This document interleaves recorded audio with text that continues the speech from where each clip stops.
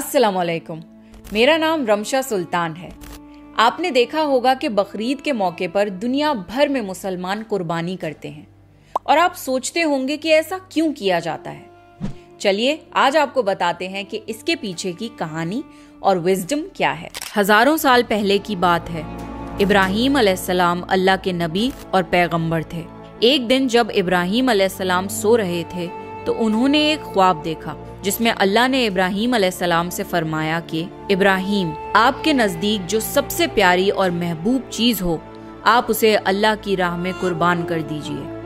अब यहाँ आपको बता दूँ कि अल्लाह अपने बंदों का और ख़ास तौर से नबियों का इम्तिहान लेता है। ये देखने के लिए कि इंसान अल्लाह से ज़्यादा मोहब्बत करता है या अल्लाह के दिए हुए तोहफों से ज़्यादा मोहब्बत करता है। नबी और पैगंबर के ख्वाब सच्चे होते थे। वो जो भी ख्वाब में देखते थे, वो अल्लाह का हुक्म होता था। तो ये ख्वाब देखने के बाद इब्राहिम अलैहिस्सलाम ने अपने ऊँटों के जत्थे में से सौ ऊँट कुर्बान कर दिए। आज के ज़माने में ये सौ कीमती गाड़ियाँ सैक्रिफाइस करने के बराबर है। इब्राहिम अलैहिस्सलाम ने सोचा कि जो अल्लाह ने उन्हें हुक्म दिया था, वो पूरा हो गया। पर जब रात को वो सोए तो उन्हें फिर से यही ख्वाब आया। इसलिए इब्राहिम अलैहिस्सलाम ने अगले दिन 200 ऊँट अल्लाह की राह में कुर्बान कर दिए। लेकिन अगली रात फिर से उन्हें वही ख्वाब आया, जिसमें अल्लाह ने उनसे उनकी सबसे पसंदीदा चीज़ कुर्बान करने का हुक्म दिया। अब इब्राहिम अलैहिस्सलाम सोच में पड़ गए कि आखिर अल्लाह उनसे किस चीज़ की कुर्बानी चाहते हैं। फिर उन्होंने सोचा कि इस दुनिया में सबसे अज़ीज़ चीज़ मेरे लिए मेरा बेटा इस्माइल है। आपको बता दूँ कि इब्राहिम अलैहिस्सलाम को पूरी ज़िंदगी दुआएँ मांगने के बाद 80 साल की उम्र में औलाद हुई थी और वो थे उनके बेटे इस्माइल, जो उन्हें बहुत ज़्यादा अज़ीज़ और महबूब थे। अब इब्राहिम अलैहिस्सलाम समझ चुके थे कि दरअसल अल्लाह ताला ने उनसे उनके बेटे की कुर्बानी मांगी है। अल्लाह ये देखना चाहता है कि इब्राहिम अलैहिस्सलाम अपने बेटे से ज़्यादा मोहब्बत करते हैं या अल्लाह से। इब्राहिम अलैहिस्सलाम के लिए ये बहुत बड़ा इम्तिहान था। अगले दिन इब्राहिम अलैहिस्सलाम उठे और अपनी बीवी हाजरा को कहा कि हमारे बेटे इस्माइल को नहलाकर अच्छी तरह तैयार कर दीजिए। इब्राहिम अलैहिस्सलाम की बीवी हाजरा ने अपने बेटे को बहुत अच्छे से नहलाकर खुशबू लगाकर तैयार कर दिया और इब्राहिम अलैहिस्सलाम अपने बेटे को लेकर एक पहाड़ की तरफ़ रवाना हो गए। इब्राहिम अलैहिस्सलाम ये तकलीफ़ भरा फैसला कर चुके थे कि वो अपने बेटे की कुर्बानी देंगे। पर शैतान को कैसे मंजूर होता कि कोई अल्लाह की इतात करे? तो शैतान भी अपने काम पर लग गया।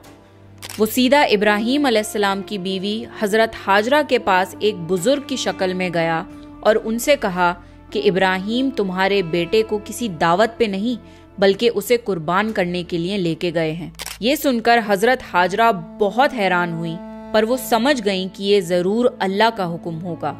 तो उन्होंने शैतान से कहा कि अगर अल्लाह ने इब्राहिम को ऐसा करने का हुक्म दिया है तो ये हमारी खुशकिस्मती है। ये तो मेरा एक बेटा है। अगर मेरे इस्माइल जैसे हज़ार बेटे भी होते तो मैं खुशी खुशी उन्हें अल्लाह की राह में कुर्बान कर देती। सोचिए, एक माँ के लिए ये कहना कितनी बड़ी बात है। जब शैतान हज़रत हाजरा को भड़काने में नाकाम हो गया तो सीधे उनके बेटे इस्माइल अलैहिस्सलाम के पास गया और कहने लगा कि तुम्हारे बाबा तुम्हें किसी दावत में नहीं बल्कि तुम्हें मारने के लिए लेके जा रहे हैं। जवाब में इस्माइल अलैहिस्सलाम ने कहा कि अगर ये अल्लाह का हुक्म है तो मेरे लिए इससे बड़ी क्या खुशनसीबी की बात है कि मैं अल्लाह की राह में कुर्बान हो जाऊँ। तेरह साल के बच्चे में इतनी समझ और बहादुरी होना कितनी बड़ी बात है। यहाँ भी जब शैतान नाकामयाब हो गया तो वो इब्राहिम अलैहिस्सलाम को भड़काने की कोशिश करने लगा कि तुम्हें ये बेटा इतनी मन्नतों से मिला है। अगर तुमने इसे कुर्बान कर दिया तो बुढ़ापे में तुम्हारा सहारा कौन बनेगा? और अगर अल्लाह ने ये कुर्बानी भी कबूल नहीं करी तो तुम्हारा कितना बड़ा नुकसान हो जाएगा। ऐसा मत करो। शैतान हर तरह से उन्हें बार बार बहकाने की कोशिश करता रहा और गुस्से में आके इब्राहिम अलैहिस्सलाम ने शैतान को पत्थर मारे। यही वजह है कि जब लोग हज पे जाते हैं तो शैतान को आज भी कंकड़ी मारते हैं, और ये हज के अहम अरकानों में से एक है। शैतान के जाने के बाद इब्राहिम अलैहिस्सलाम ने अपने बेटे को सारी बात बताई। तो इस्माइल अलैहिस्सलाम ने फरमाया कि, बाबा, अगर ये अल्लाह का हुक्म है तो मुझे ये मंजूर है आप बस मेरे हाथ पैर बाँध दिए और अपनी आँखों पे पट्टी भी बाँध लिए, ताकि आप जब मेरी गर्दन पर छुरी चलाएँ तो आपको तकलीफ़ ना हो और आप ये करने से मुकर न जाएँ। बस फिर इब्राहिम अलैहिस्सलाम ने अपने बेटे के हाथ पैर बाँध दिए और अपनी आँखों पर पट्टी भी बाँध ली और जब उन्होंने इस्माइल अलैहिस्सलाम की गर्दन पर छुरी चलाई तो एक जानवर की आवाज़ सुनकर वो हैरान हो गए। उन्होंने जब आँखों से पट्टी खोली तो एक दुम्बा जुबा हुआ हुआ था और इस्माइल अलैहिस्सलाम उनके पास खड़े मुस्कुरा रहे थे। तब आसमान से अल्लाह ने इब्राहिम अलैहिस्सलाम से फरमाया, इब्राहिम, आप इस इम्तिहान में कामयाब हो गए। हमने आपकी ये कुर्बानी कबूल की। आपका ये इम्तिहान कयामत तक याद रखा जाएगा और आपकी इस सुन्नत को ईमान वाले लोग हर साल याद रखेंगे। और हर साल अल्लाह की राह में कुर्बानी पेश करेंगे। इब्राहिम अलैहिस्सलाम की इस सुन्नत को अल्लाह ने आने वाली नस्लों के लिए इबरत बनाया और इसीलिए मुसलमान हर साल हज के मौके पर कुर्बानी करते हैं। बकरीद पर जो भी हलाल जानवर कुर्बान होते हैं, उनके गोश्त को तीन हिस्सों में बांटा जाता है। पहला हिस्सा गरीबों और मिस्किनों में बांटा जाता है। दूसरा हिस्सा रिश्तेदारों में दिया जाता है और तीसरा हिस्सा खुद अपने घर में रखा जाता है। आपको ये पता होना चाहिए कि बकरीद के मौके का गरीब लोग साल भर इंतज़ार करते हैं, क्योंकि यही साल का इकलौता मौका होता है जब उन्हें गोश्त खाना नसीब होता है। बकरीद का ये फेस्टिवल दुनिया भर में भुखमरी मिटाने का एक ज़रिया है and it's a part of Islamic faith to serve humanity and help others हज के इन दस दिनों में की गई नेकियाँ अल्लाह को साल भर की गई नेकियों से ज़्यादा पसंद है।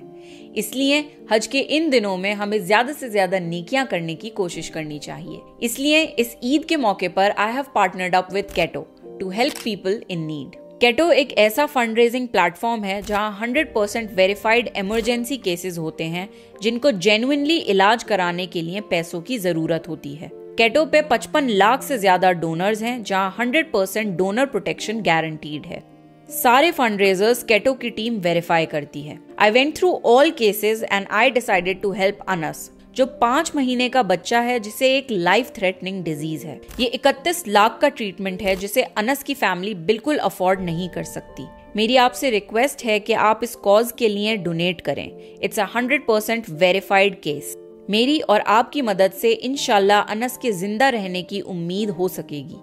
आज भी ऐसे हज़ारों लोग हैं जो अपने ट्रीटमेंट्स के लिए पैसे अफोर्ड नहीं कर सकते। Thanks to platforms like Ketto जहाँ पर हम स्कैम से बच सकते हैं और जेन्युइनली उन लोगों की मदद कर सकते हैं जिन्हें इलाज की ज़रूरत है। तो हज के इन दिनों में और ईद के इस मौके पर ज़्यादा से ज़्यादा लोगों की मदद करने की कोशिश करें। आई होप आपको ये वीडियो हेल्पफुल लगा होगा। प्लीज़ इस वीडियो को ज़्यादा से ज़्यादा शेयर करें और मेरे चैनल को सब्सक्राइब करें this is me Ramsha Sultan signing off.